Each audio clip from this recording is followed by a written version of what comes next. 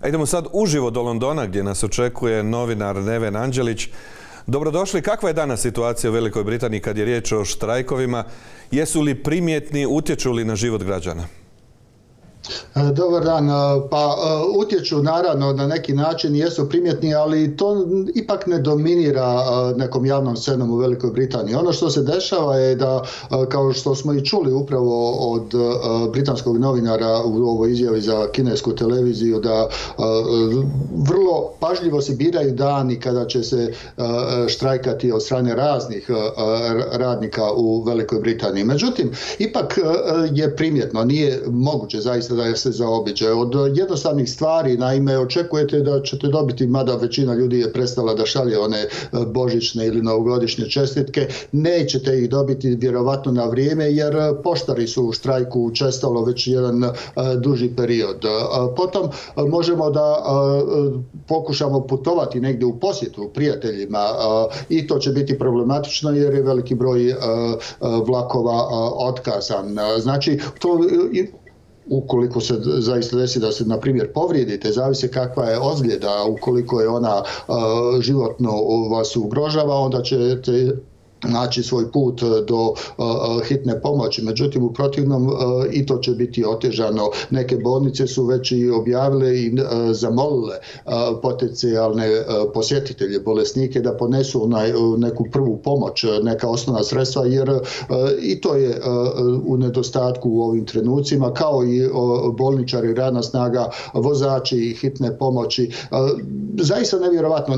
Nedavno su i vatrogasci imali štrajk medicinske sestre su po prvi put od ere Margaret Thatcher stupile nedavno u štrajk i ponovno će ponovit će taj svoj protest i zahtjev za povećanje plata. Sve to na neki način kreira atmosferu u kojoj sam ja čitao, u kojoj se čulo, a to je da su 70. godina bili masovni protesti, masovni štrajkovi, sve u jednoj eri koja je prethodila dolasku Margaret Thatcher na vlast koja je onda promijenila britansko gospodarstvo u, u tolikoj mjeri da smo ušli u jednu novu fazu kapitalizma, neoliberalnog kapitalizma koji danas svi živimo. To je neki neoliberalni kapitalizam, vrsta koja dominira barem zapadnoevropskim ili zapadom, tim globalnim zapadom u, u, u smislu odstranjivanja moći sindikata, deregulacije što se tiče brojnih privrednih grana i smanjenja taksi koliko je god moguće. Sada tu ulazimo u jednu sferu gdje je to problematično u ovim trenucima. Kolike povišice traže sindikati i koliko su uistinu povećani troškovi života u Velikoj Britaniji? E tu sada na, na, na koje brojke, na koje pokazatelje ćemo se osloniti, tu je malo problematično, ali otprilike e, sindikati, e, e, spomenuo sam bolničko osoblje, oni traže 19% povećanje. I sada vlada, a životni troškovi, porast životnih troškova, inflacija je pala je ovaj mjesec ispod 11%, bilo je preko 11%, a životni troškovi opet zavisi šta se računa i e, koji segment društva e, kako je pogođen sa tim porastom životnih troškova, ali otprilike oni bogatiji su manje pogođeni, tu je negdje malo preko 10%, oni najsiromašniji su najviše pogođeni, e, što govori o politikama ove vlade, njih pogleda nešto preko 11% je njihovo povećanje životnih troškova. E sada kada to sagledamo, zahtjevi od 19% prosto mogu zvučati e, povećanja e, plaća za e, medicinsko osoblje, bolničko osoblje kao preveliki. Međutim, javnost ih podržava u velikoj mjeri. Preko oko dvije trećine ispitanika ih podržava jer posljednjih deseta godina, a svo to vrijeme je konzervativna partija bila na vlasti, posljednjih deseta godina njihove realne E, e, plaće nisu povećavane. One su išle u korak sa inflacijom koja jeste bila mala, dakle vrlo mala su povećanja bila. A sada sa ovom velikom inflacijom to je zaista teško. Pritome javnost ima uh, osjećaj solidarnosti jer su to upravo ljudi koji su bili na uh, onoj nekoj fronti borbe protiv COVID-a uh, gdje su u velikoj mjeri ljudi, njihovi su životi bili ugroženi, oni su sve to rizikovali i radili su ono za što su se spremali cijeli svoj život. I javnost to pamti i cijeni. Tako da vlada nije ni u malo zavidnoj situaciji, u vrlo problematičnoj, mada se to još uvijek ne osjeti, e, jer e, ovi veliki valovi štrajkova su tek počeli i oni će se nastaviti iduće godine. Zašto onda britanska vlada odbije uopće sjesti za stol sa sindikatima i pregovarati s njima? Pa tu dolazimo do te ideološke osnovice e, ove vlade. Ova vlada kao i ona prehodna Liz Truss pa i Boris e, Johnsona, to su vlade, u mojim sjećanju nisu, nije postojala desnija vlada od ovih vlada koje su tokom ove 2022. godine na vlasti u Velikoj Britaniji. Znači, osnovica te ideologije, znači ta krajnja koliko god je moguća deregulacija, da bude sve otvoreno za biznis, potom smanjenje taksi, posebno smanjenje taksi onim najbogatijim, jer po toj nekoj konstrukciji ideološkoj oni će e, imati više novaca pa koje će onda ulagati, neće im se isplatiti držati novac, a sami tim ulaganjem otvarat će se nova radna mjesta, a time će se onda e, taj neki e, prihod slijevati do onih najnižih slojeva. Naravno, to se ne dešava u stvarnosti, međutim, ti ljudi žive u tom nekom svom uh, oblaku, uh, nisu e, u dodiru zaista sa, ja, sa stvarnošću. Tako prije nekoliko dana je Riši Sunak, premijer, radio neku propagandnu djelatnost da dijeli hranu za beskućnike i taj razgovor je postao viralan gdje se pokazalo da on zaista ne razumije probleme sa kojima obični ljudi žive. Ono što se u stvarnosti dešava to je da broj beskućnika koji se viđe na ulicama Londona njih je nemoguće prebrojati, nemoguće doći do jasnih i tačnih e, e, podataka, brojeva. Međutim, e, ono što golim okom, iskustvom i podsjećanjem što je bilo pri nekoliko mjeseci, pri nekoliko godina, taj broj je u velikom porastu. Stoga, dakle, vlada koja je prvo imala problem sa COVID-om, znači vrlo desna vlada dolazi na vlast, ima problem sa COVID-om, ima nasljeđene probleme sa Brexitom koje treba riješiti i potom dolazi rat u Ukrajini. To su E, strahovito veliki i izdaci e, za vladu. Budžet to više ne može pokriti. Znači oni su i, i primorani da pokušaju odbiti ove zahtjeve. Međutim, da li e, nacija to može pokriti i prihvatiti njihove odbijanje, to je pitanje. Ja mislim da za sada, da je sasvim sigurno da će Britanija e, ovu 2022. E, godinu završiti za samo tri premijera, ali da li će i 2023. biti samo jedan premijer ili barem dva, to je pitanje u koje ja ne bih, ne bih uložio svoj novac. Evo, sami ste rekli, 2022. ostaće zapamćena po čak tri premijera na vlasti u Velikoj Britaniji. Kakva je trenutno podrška premijeru e, Sunaku i koji su to najveći izazovi koji su pred njim u idućoj godini zbog čega ne isključujete mogućnost da i on odstupi?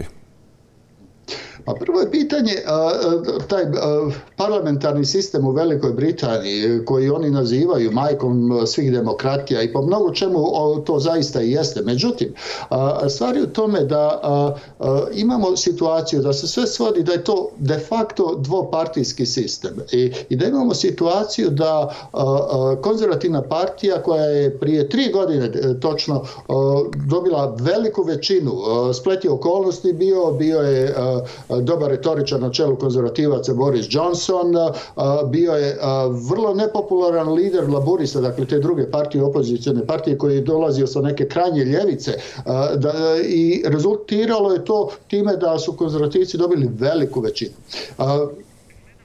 Nakon toga imamo, dakle, tokom ove godine da se tri vlade promijenile da je to zaista više bilo nemoguće. Međutim, oni u parlamentu i dalje imaju tu ogromnu većinu. I sada u stvari Riši Sunak ovisi prvenstveno o sobstvenim parlamentarcima. Opozicija može zahtijevati šta hoće, ali nema tu moć u parlamentu. Javnost možda, kada bi se izašlo na ulice, ova serija štrajkova može izvršiti neki pritisak nešto da se radi. Ali Sunak ostaje u svom kabinetu dogod ga njegova politička partija želi. E sada, nije više ni politička partija cijela, jer sjetimo se, ljeto su bili izbori gdje je članstvo konzervativa sa nekih 170 tisuća članica i članova konzervativne partije biralo između njega i Liz Truss. On je prethodno unutar parlamentarne uh, frakcije e, partije uh, imao većinu, uh, veću podršku nego Liz Truss. Međutim, kada je to došlo u javnost, u, među članice i članove konzervativaca, Liz je premoćno pobjedila. To možda govori, sada je to tumačenje, mi to ne znamo, da li je tu i etnička pripadnost možda igrala neku ulogu. A, a, međutim, a, a, ideološki oni nisu bili bitno različiti. Možemo reći da je on iskusniji ekonomski puno nego što je ona, što se pokazalo tokom njene kratkodrajene vladavine. Znači, Riši Sunak unutar parlamentarne frakcije konzervativaca vjerovatno uživa podršku, ali sada dolaze još neki dodatni zahtjevi. Tu imamo tvrdu frakciju breksitovaca Brexitovaca koji žele sada, ne samo što su izašli iz Evropske unije, žele da izađu iz uh, Vijeća Evrope, iz e, Evropskog suda za ljudska prava, e, iz Evropske konvencije o ljudskim pravima. E, da, da samo podsjetim, iz te konvencije je, odnosno iz Vijeća Evrope je Rusija isključena u trećem mjesecu ove godine zbog invazije na Ukrajinu. Prethodno je bilo tokom vojne hunte u Grčkoj 69. Grčka se povukla iz Vijeća Evrope. Sve ostale zemlje nisu se povlačile. Znači, sada vidimo koliko bi to radikalno bilo i prilično je velik pritisak na Sunaka što se toga tiče, on hrabro odbija, izgleda da ima podršku da se to ne uradi. Međutim, e, ako novi val imigranata se pojavi, imamo te prelaske preko e, La Manša, e, mediji stvaraju, kreiraju situaciju gdje se smatra da je to velik pritisak na britansko gospodarstvo i povrh svega ovoga o čemu smo do sada razgovarali, e, to može e, biti možda eventualni početak kraja sunaka nekada e, tijekom naredne godine. Iz ovog što ste rekli, čini se da ima političara u konzervativnoj stranci koji bi najradije da Veliku Britaniju izvuku geografski iz Evrope, ako je moguće. No evo, ova godina, 2022. bit će svakako zapamćena i u Velikoj Britaniji u svijetu po smrti kraljice Elizabete, a Ujedinjeno kraljevstvo je nakon sedam desetljeća opet dobilo kralja. Kako se Charles III. snalazi na toj funkciji i kako ga prihvaća javnost?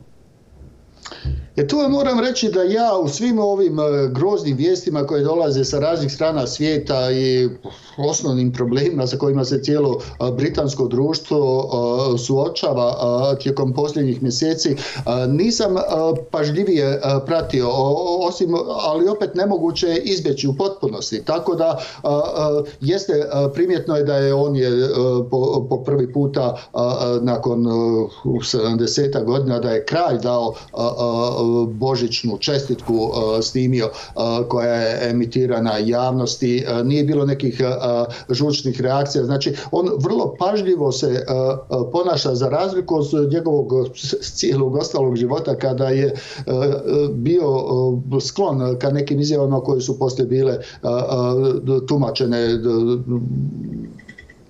u javnosti na jedan način ili na drugi način, e, neke su bile, nazovimo to, kontradiktorne. E, potom da dolazimo do toga da e, cijela ta obitelj, s jedne strane je to jedan otvoreni izlog ka javnosti koji je dobar je za biznis na neki način, oni rojalisti koji su i po svim drugim pitanjima u nekom mom društvu liberalni, ali su čvrsto opredjeljeni za kraljevsku obitelj, govore da to nije loše za društvo društvo donosi neku stabilnost. Sada pod kraljicom je to bila stabilnost, sada je pitanje, još uvijek je možda rano da se zaključuje da li će i pod kraljem Charlesom III to pružiti stabilnost društvu. U ostalom, ustavno je pitanje da koliko je ovaj njegov stvarni utjecaj, više je to simbolički utjecaj. Ali imamo sad ta vrenja unutar same obitelji i imamo dakle dva njegova sina od kojih jedan je napustio Veliku Britaniju i u, u Sjedinjenim državama. Bio je taj dokumentarac na Netflixu koji ja moram priznati nisam gledao i, i, i samo sam vidio neke od reakcija, ali ono što je u društvu bitno, recimo to je nešto što je mene zanimalo. Ja mislim da tko god vozi automobil poznato mu ime Jeremy Clarkson, nekada je bila emisija Top Gear na BBC-u, sada je to na Amazonu, neka druga, drugi naslov, ali uglavnom njih trojica e, koji tako e, e, servisiraju aute i gledaju koji je dobar, koji je loši, putuju svijetom, na duhovit način sve to je prikazano.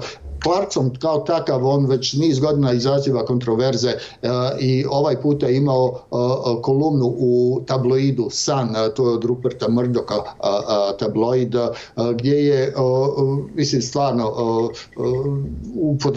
upotrebljavao riječnike i izraze o Meghan Markle, supruzi princa Harija, koji zaista ne priliče bilo kome, osim ako čovjek nije rasista, osim ako čovjek nije na radikalno krajnjoj desnici, nazovimo to tako, ako čovjek nije neki sredovječni, bijeli čovjek koji nije ni sredovječni u 60. godinama. Uglavnom, to je izazvalo reakcije velike javnosti i to, to je nešto što je u stvari bilo pozitivno, ta reakcija javnosti na jedan takav riječnik, na nipodaštavanje gdje je došlo do neke vrste isprike, gdje je taj tekst povučen sa internet stranice Sana tabloida, mhm. ali šteta je učinjena i to govori u stvari da u društvu postoje ljudi koji zapravo bi željeli da se riješe tog drugog sina kralja Charlesa i njegove supruge, da se to potpuno zaboravi, možda to je i refleksija možda i nekog pristupa rasi koji zbog učtivosti i generalne atmosfere u društvu kolumnisti se ne usuđuju ulaziti u te vode, ali vjerovatno i to prisutno. Hvala najljepša na ovom javljanju i analizi. Bio je ovo iz Londona, Neven Anđelić. Hvala lijepa.